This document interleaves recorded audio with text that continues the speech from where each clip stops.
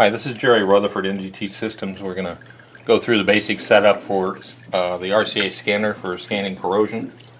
Uh, we'll go ahead and set up the cabling and such. If you look at the main connector going into the, the scanner itself, there's a thick area right here that always points up, so you don't have to search to connect it. Sit confidently.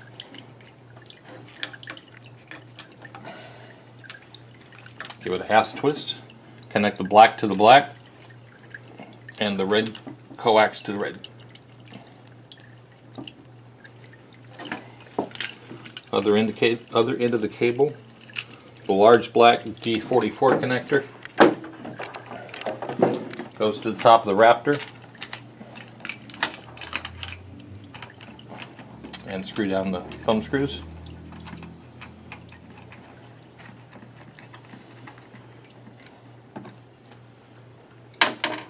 The red coax goes to the TR side, which is on the far left of the Raptor on the top. And the black connector goes to the R, which is the second one over.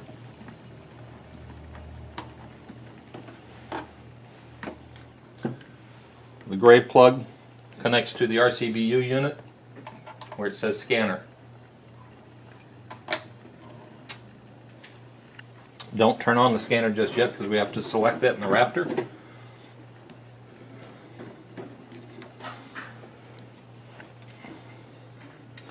We're using a dual element transducer on the scanner. And we want to calibrate that. You'll notice that it's got a split down the center of it. There's an element on each side. So we need to select that on the Raptor to be a dual element transducer. I'm going to take the step block and put it on the 100,000th step, which is the smallest one. And adjust our zero for it to read 100 thousandths. But we're going to adjust our threshold first to bring it down where it is on the right echo. Go to mode, thickness, thresh, and it'll be the IP thresh because that's the only one we're using. And bring it down to where it pinges on this first echo here.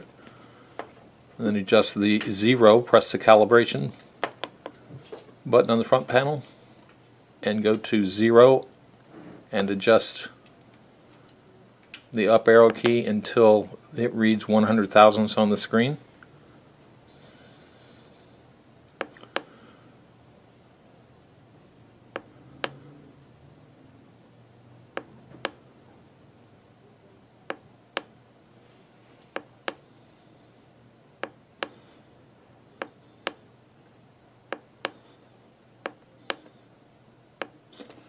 Move the step wedge to the thickest step, which is half inch. And adjust the velocity to read 0.5.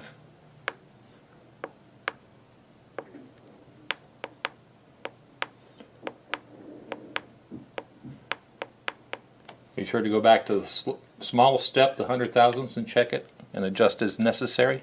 And that will be again your zero. Luckily we don't have to adjust it and just check your half inch once again.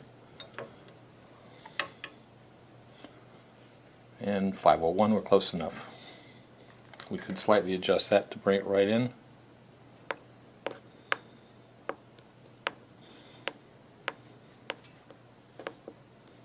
Perfect.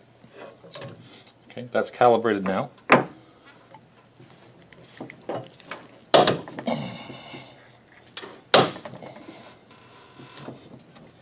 Can turn the scanner on. Oh, no, we can't. Um, press menu escape to get back to the main menu. Go to the scan selection or F5, hit enter, and select scanner F5 or highlight it and press enter. And then highlight and the selection for RCA 10H automated pipe scanner and press enter. Now we can turn on the power to the scanner. That's on the RBCU unit. And we can go to a new scan. Press enter to select that. We can adjust, we need to adjust all the different parameters for the scan itself. You'll notice the first one is IP to first is what we're actually measuring, that's the data acquired. The x-axis length X is going around the pipe circumferentially, Y is going down the length of the pipe. In this case, we're going to go with 6 inches. As far as the length goes, we'll adjust that Y-axis to about 9 inches. Pressing the enter key will bring up the um, the um, keypad and you can highlight the numbers, press enter to select and then go down and accept to lock it in. Then going to adjust our X and Y axis index. These are set to 50 thousandths now. Uh, I think we'll leave it there. That's nice. And then we'll select the scan axis and we're going to be taking scans off the Y axis so it'll actually move down the length of the uh, the Y to the 9 inches, step over 50 thousandths and come back and step over again and come back so we're actually scanning that length of pipe instead of back and forth across the circumference. Data stored is going to be overwrite in case we end up with a lower number someplace or a higher number. And go up and accept it. And now we're going to place the position of the scanner itself on the pipe Using the arrow keys left and right, we'll move that over to the back side of this pipe to about there. Press enter to accept and we can start the scan.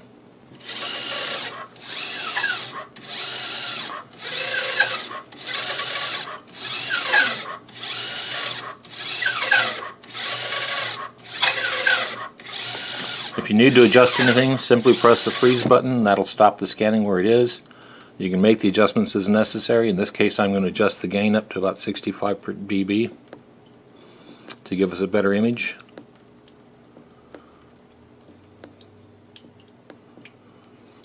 And then press start scan again and press enter and it'll continue. Uh, I notice now that my blocking gate is into the material itself and some of the echoes, so we need to stop that and adjust it. So we hit freeze again, menu escape, go to mode, thickness, and then IP blocking gate. And we can bring that out beyond. We'll notice that there is some anomalies on the scan line itself. So we want to adjust the threshold go to thresh enter and then IP thresh and adjust it above the noise in the, the scan. We can also adjust the uh, range so that we have full screen displayed. Press menu escape and then cal and go to the range and adjust the down arrow key to spread out your echoes to full screen. Menu escape and go back to scan and start scan. And our scan will continue from now on.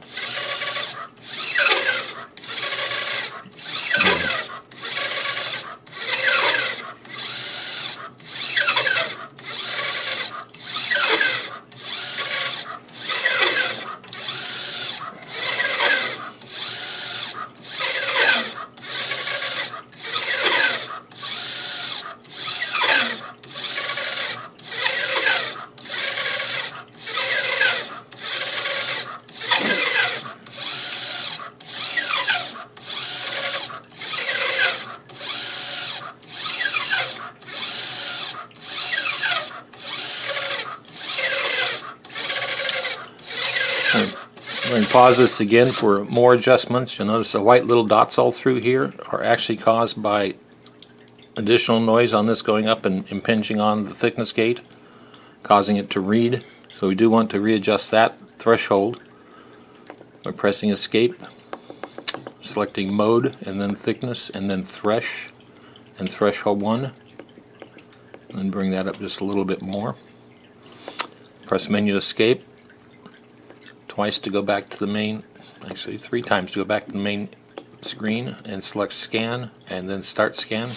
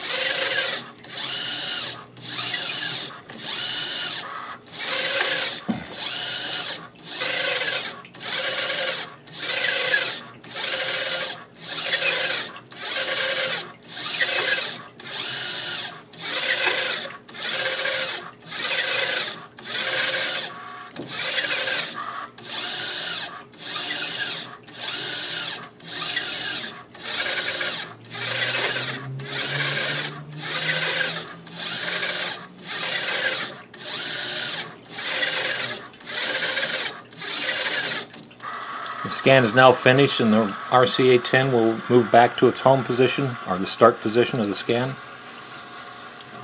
There is a selection in the setup menu for the scanner to defeat that so it won't go back to home.